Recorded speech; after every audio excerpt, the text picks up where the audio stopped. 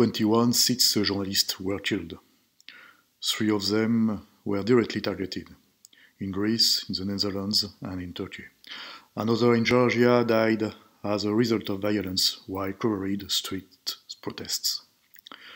Another two died in a landmine explosion during the Nagorno-Karabakh conflict, a wake-up call from journalists, as in late 2021 the reality of war again loomed over the continent, and it was confirmed by the Russians' invasion of Ukraine on February 24, 2022, and evokes dark memories of the wars in ex-Yugoslavia, where from 1991 to 2001, more than 150 reporters, photographers, television camera operators, fixers, and other media workers were killed. Journalists are increasingly vulnerable to direct attacks on their physical safety and integrity.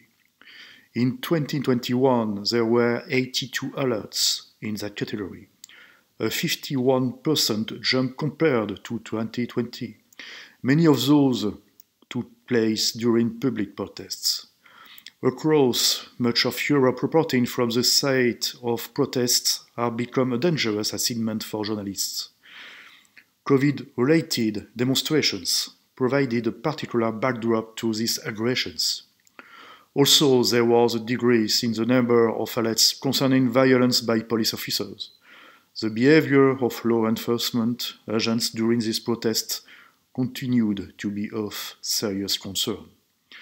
Violence against journalists during street protests is fed by a wave of media bashing and an avalanche of hate speech on social networks, very often prompted by political figures which directly target journalists, questioning their independence and legitimacy, and therefore making them more vulnerable to physical aggression.